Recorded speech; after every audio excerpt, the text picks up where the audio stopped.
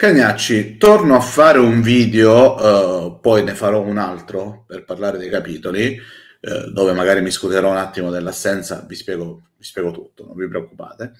Però sono qui perché ho letto una notizia che mi ha colpito, su cui sto ragionando e mi interessava riuscire però a, a concludere il ragionamento, perché sono sospeso in un limbo, dico la verità però vi voglio porre il tema. È uscita una notizia interessante. Matt Owens, che è uno degli sceneggiatori della serie TV live action di One Piece che uscirà su Netflix, spero il prossimo anno, adesso non, non ho contezza delle, dell'uscita, della data, ha dichiarato che eh, Sanji non sarà nella serie TV live action un simp, quindi un, um, uno zerbino delle donne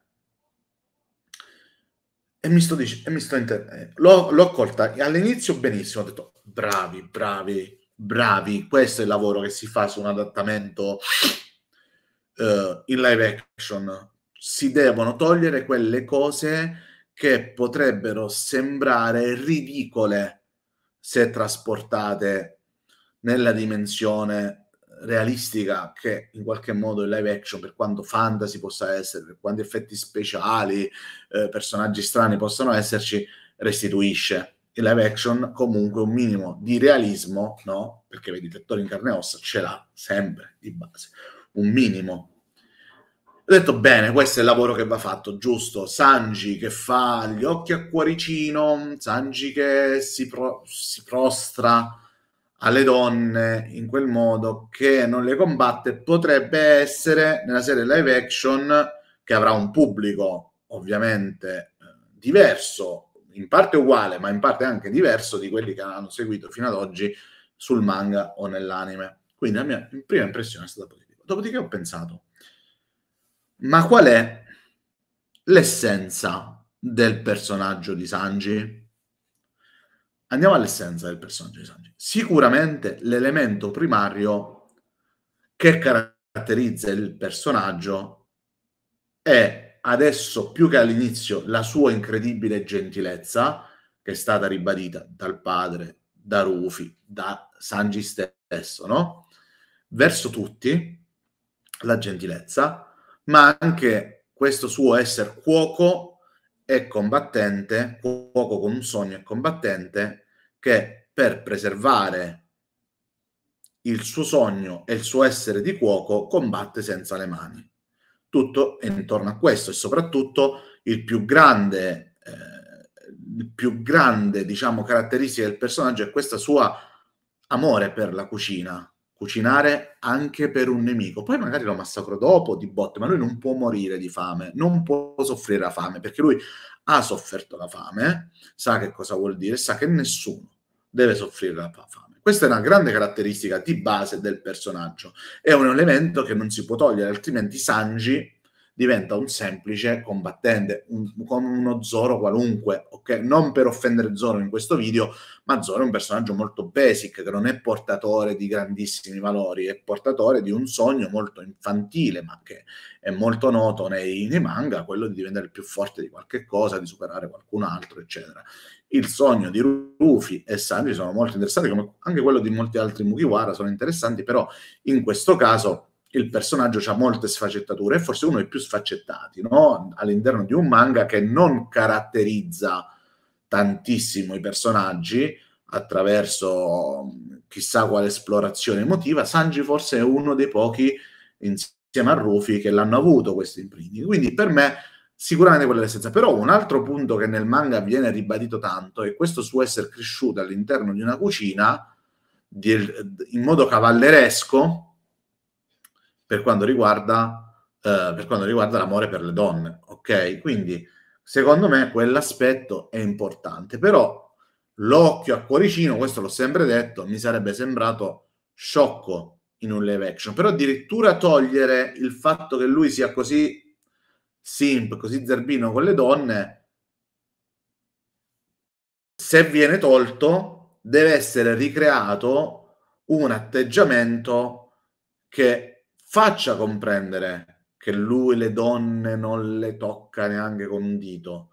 Anche nel live action, secondo me, deve rimanere questa dimensione di lui che pu- piuttosto che picchiare una donna sarebbe disposto a morire. Secondo me è importante che ci sia questo aspetto, perché caratterizza tantissimo il personaggio in un modo qualcuno potrebbe dire anche politicamente scorretto, le donne non hanno bisogno di essere difese, eccetera, eccetera. Abbiamo visto come in realtà Sanji sia cresciuto dopo aver fatto quei conti col suo passato a Tottenham, cioè quando lui ha fatto pace con se stesso, capendo che non era colpa sua quello che era successo alla madre, anzi, è che lui aveva messo in difficoltà la sua ciurma per prendersi tutto sulle sue spalle, eccetera, eccetera, lui ha capito che può affidarsi ai compagni e mettere anche un po', se vogliamo, a rischio le donne della sua compagnia, tra, tra, che ci sono tra i suoi navigati.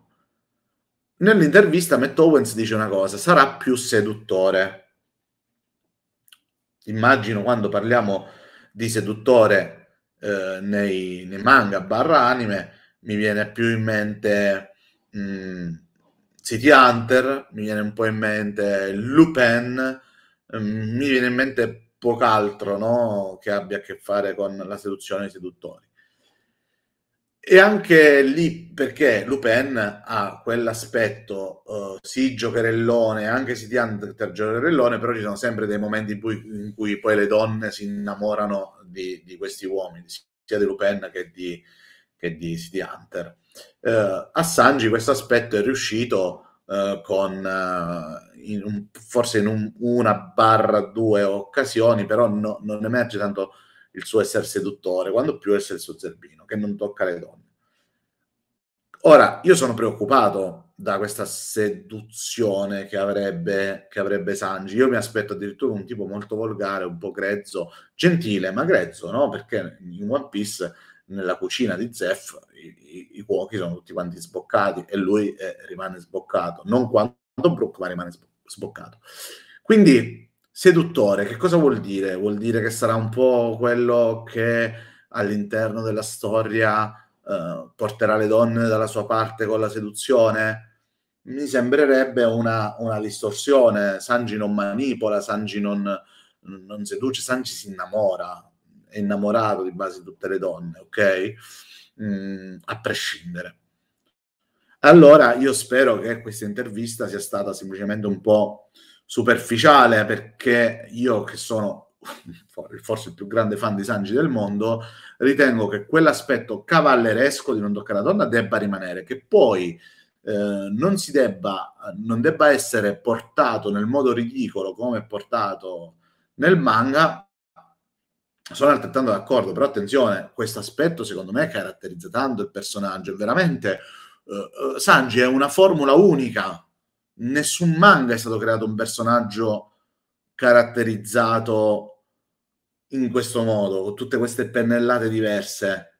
Questo lo rende un personaggio anche difficile, complicato da apprezzare, perché ovviamente eh, il sogno dell'All Blue come può affascinare un giovanissimo che magari non amante della cucina?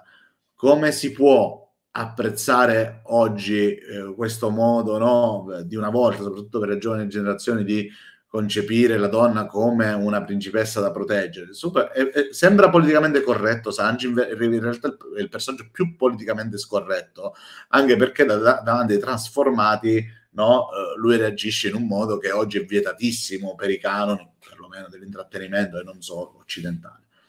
E allora io chiedo a voi, perché questa riflessione non l'ho finita, ehm, seppur con lo stile del seduttore e non dello zerbino, Sanji deve conservare questo suo apprezzamento delle donne che, porta, che lo porta spesso a essere in difficoltà, a, a subire il fascino femminile, che mette a volte in difficoltà sia lui che ovviamente i compagni oppure nel live action trovate che sia giusto toglierlo questo aspetto di, di, di non toccare le donne? Perché sinceramente io capisco che il registro debba cambiare può cambiare su tantissimi aspetti. Io sono il primo a dire sono il primo a dire spero che che Usopp non abbia il naso lungo, per fare un esempio. Sono il primo a dire che eh, Sanji non debba avere l'occhio a cuoricino, sono il primo a dire che Rufi non debba avere non si debba avere il gongom, ma che non debba fare alcuni colpi, mosse, che risulta sempre molto ridicolo, come il gongom balloon, uno dei più ridicoli in assoluto, no? State parlando con uno pronto ai cambiamenti. Non so se snaturare il personaggio fino a quel punto sia giusto, perché comunque sì, è vero che ci sarà una grossa parte di persone che non ha mai visto One Piece, però quella parte che One Piece l'ha visto, no, capisco che non si possono accontentare tutti, ma se riesce a restituire l'anima del personaggio, secondo me sarebbe opportuno. Anche essere vittima del fascino femminile, non in modo ridicolo, ma in modo realistico. Quanti, quanti uomini conoscete che sono così innamorati da, da abbassare il loro senso uh, del pudore quasi, no? Sono in un limbo, ve l'ho detto, questo video non va verso una conclusione, vorrei sentire voi, vorrei sentire voi, però per cortesia, se iniziate a dire Sanji fa schifo, eccetera, eccetera, il vostro parere per me è influente, perché mi state provocando in un video dove io non vi sto provocando, ok? Accetto la reazione quando la cerco di scatenarla, non in questo caso. Fatemi sapere voi.